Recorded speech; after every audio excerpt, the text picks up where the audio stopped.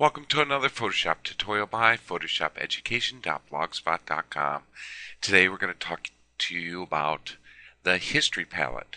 And before we get to the next tutorial after this one, which we'll be talking about the history uh, brush and the art history brush, we need to really understand the history palette.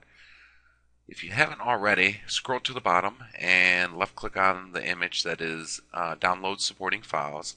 Download this DSC03562 and if you've you might already have this from previous tutorials, open it up, it's a picture of a sky and then do a control J to uh, duplicate the background layer and then hide the background layer.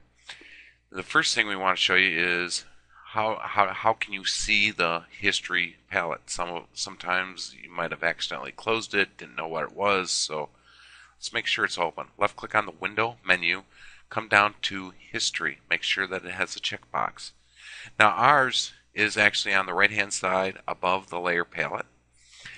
It could be anywhere. We could resize this, we could pull it away and maybe have it right on the canvas area for most of the time right above the layer palette. It's a good position.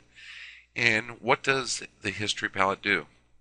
Well, anytime that you do a step or a tool, use a tool or duplicate anything or pretty much do anything in Photoshop, it records that step and it says this is what you did.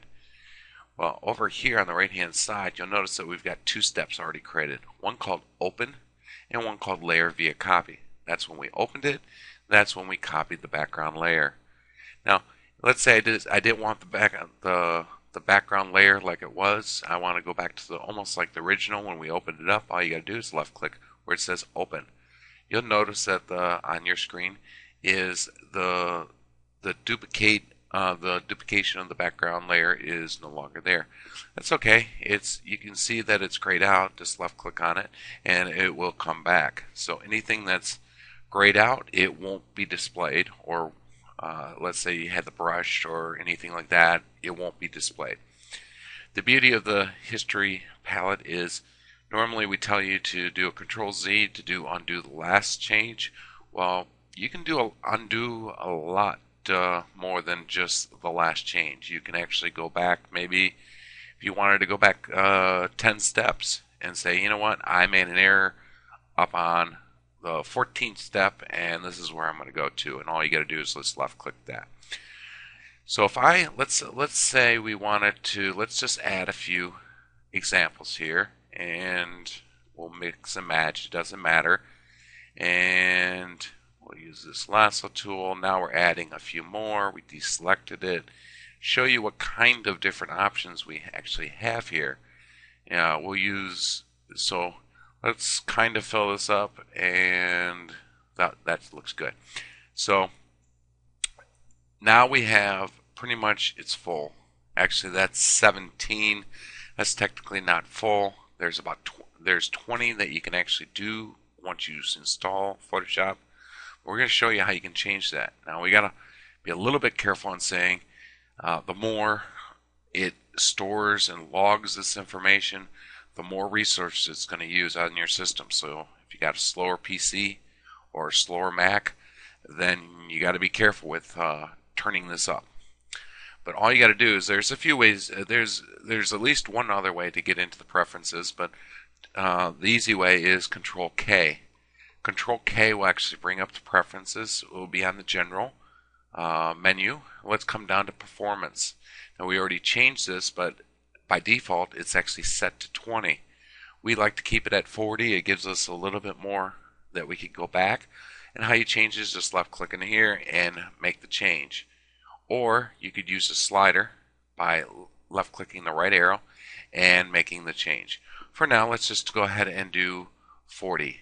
And then all you have to do is left click OK.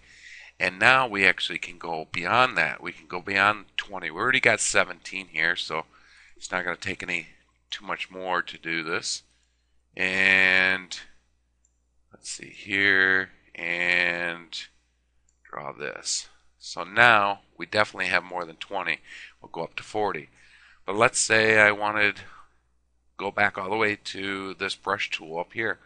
all I do is left click it, it grays everything out. And you'll notice that if you're looking at the canvas, it will actually go back to that spot. So that's how you actually change preferences. The next area we want to show you is these are your steps. This is the snapshot. Uh, actually, by default, when you open an image, it takes a snapshot of that image. It says, okay, this is the starting point. But let's say I wanted to, I get all the way down to the bottom here, and this is highlighted in the uh, history palette.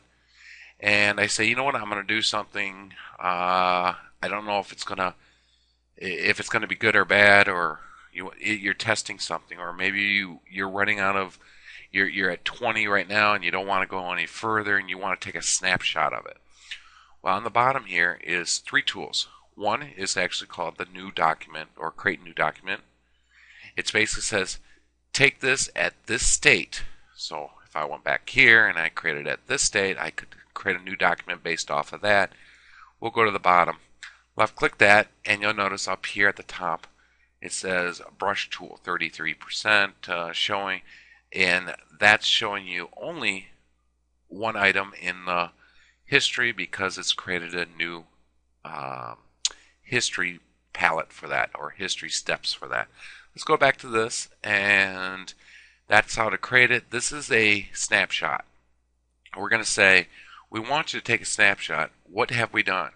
Let's left click that and if we scroll all the way back to the top you'll notice that now I've got two snapshots and one's called snapshot 1 and we'll come back to that in a second but we want to show you the, actually the image on the screen show you how it looks so we're not kind of uh, faking this to make it work, and then when you try it, it doesn't work. So we'll, we'll show you that's the screen right now.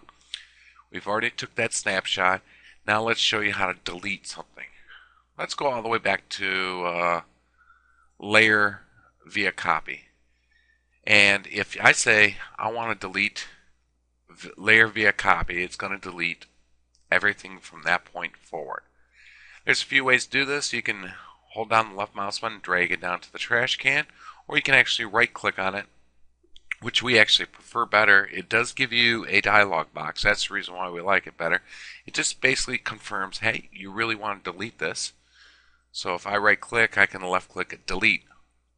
Comes up, to, it says do, delete state, layer via copy. Yes. And you'll notice the layer, the history palette has now changed we're back to the open. If I do make an error, once again, you can do a Control Z and undo those changes. We'll show you that it works the same way here. We'll drag this down, holding the left mouse button, and release the left mouse button on the trash can. It does the same thing. The reason why we like the other is because of the dialog box. So now we have it open, and if you look at the screen, it's perfect the way that we had it open. Let's go to snapshot 1 and look at the screen. It's back to the way it was because it took a snapshot. Even though we've already deleted it, we took the snapshot first, so that's a good thing. Uh, if you don't like the name of snapshot 1, which we always change it, just double left click on it, and we can say with brushes. Uh, say with brush. That's fine. So we can have that.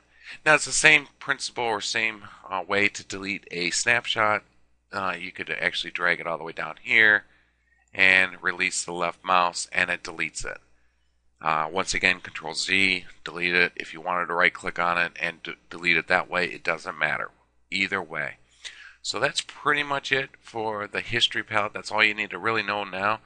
Uh, hope you enjoy this tutorial. Feel free to scroll to the bottom, take the 10 question quiz, see how much knowledge you remember from this tutorial. Have a wonderful day. Thank you. Bye.